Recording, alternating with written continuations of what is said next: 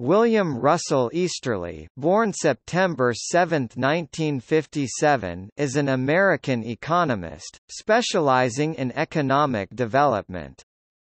He is a professor of economics at New York University, joint with Africa House, and co-director of NYU's Development Research Institute. He is a research associate of NBER, senior fellow at the Bureau for Research and Economic Analysis of Development of Duke University, and a non-resident senior fellow at the Brookings Institution in Washington, D.C. Easterly is an associate editor of the Journal of Economic Growth.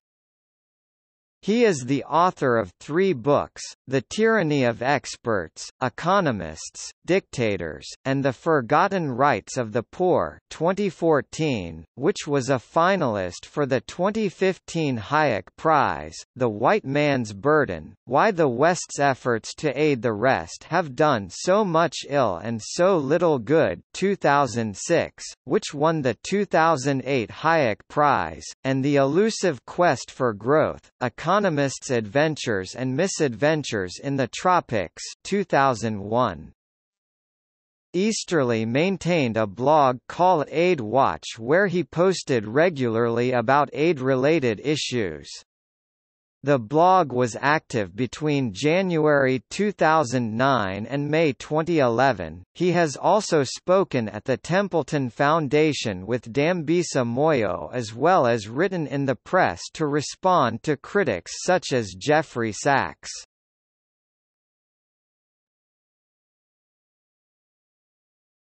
Topic: Biography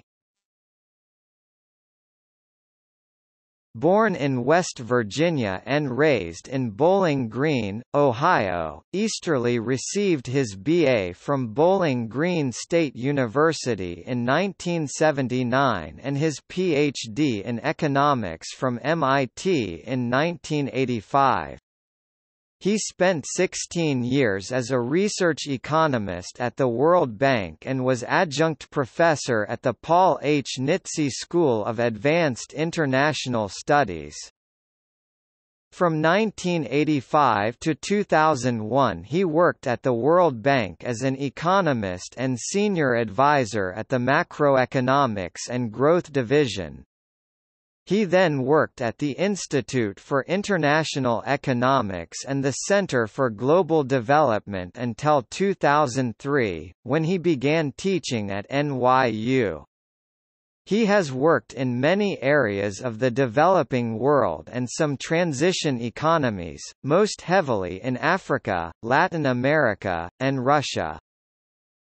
He is the author of The Tyranny of Experts, Economists, Dictators, and the Forgotten Rights of the Poor Basic Books, 2014, The White Man's Burden, Why the West's Efforts to Aid the Rest Have Done So Much Ill and So Little Good Penguin, 2006, The Elusive Quest for Growth, Economists' Adventures and Misadventures in the Tropics MIT, 2001, three other co-edited books, and more than 60 articles in refereed economics journals.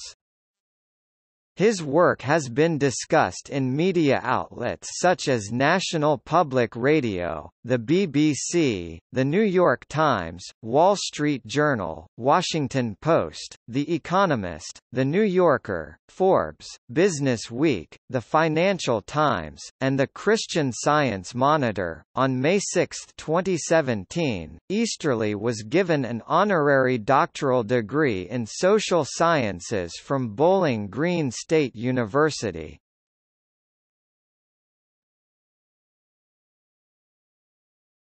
Topic: Academic work.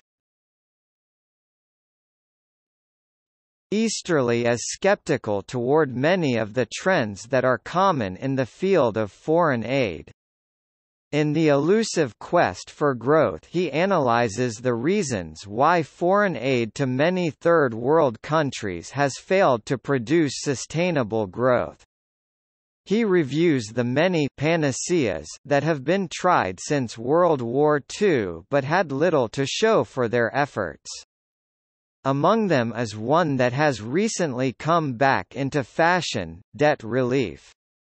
That remedy has been tried many times before, he argues, with negative results more often than positive, and calls for a more scrutinizing process. In The White Man's Burden, the title refers to Rudyard Kipling's famous poem of the same name. Easterly elaborates on his views about the meaning of foreign aid.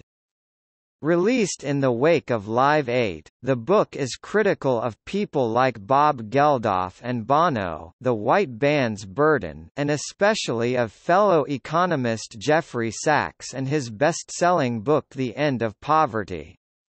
Easterly suspects that such messianic do-good missions are ultimately modern reincarnations of the infamous colonial conceit of yore. He distinguishes two types of foreign aid donors, planners, who believe in imposing top-down big plans on poor countries, and searchers, who look for bottom-up solutions to specific needs. Planners are portrayed as utopian, while searchers are more realistic as they focus—following Karl Popper—on piecemeal interventions. Searchers, according to Easterly, have a much better chance to succeed. In The Tyranny of Experts, Easterly analyzes a broader shortcoming of the development community's efforts failure to recognize the importance of the rights of the poor. Development, he argues, is narrowly focused on the material well-being of its intended beneficiaries. Development experts champion technical solutions such as mosquito nets or latrines, believing they will end poverty. Easterly argues that these technical solutions by experts fail to address the core of the problem. The lack of individual rights, including political and economic ones, prevents the poor from implementing bottom-up, spontaneously emerging solutions to development problems, and from defending their interests from abusive dictators. Development organizations often side with abusive autocrats by lauding their development achievements which, economic analysis shows, cannot be credited to leaders and ignoring their dismal human rights records. The first step, Easterly argues, is to at least open a debate, a discussion about why the rights of the poor matter. Sachs responded to Easterly's arguments, leading to a prolonged debate. Sachs accused Easterly of excessive pessimism, overestimating costs, and overlooking past successes.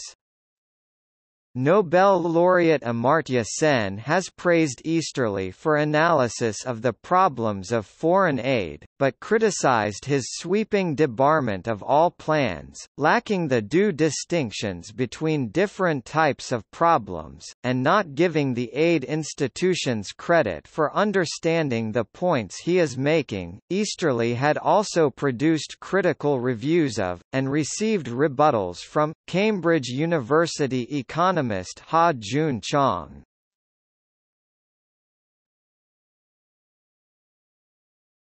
Topic: Productivity and factor world theory. Easterly has discussed the effect of globalization on inequality. Looking at the reasons for income inequality he has used the concepts of factor world and productivity world.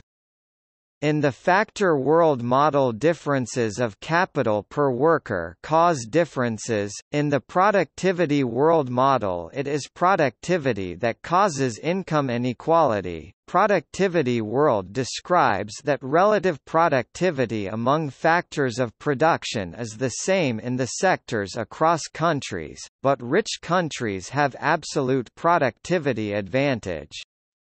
The opposite concept being factor world, this claims factors of production movement based on free movement of those factors which in theory would reduce inequality between nations.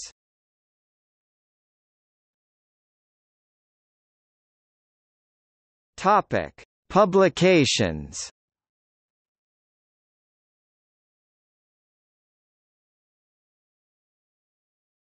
Topic: Book section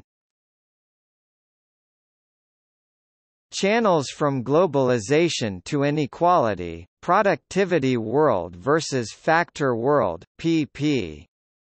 39 to 81 from Brookings Trade Forum 2004 Globalization Poverty and Inequality 2004 Brookings Institution Press ISBN 9780815712862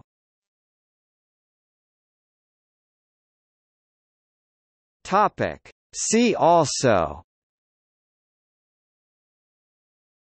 Environmental determinism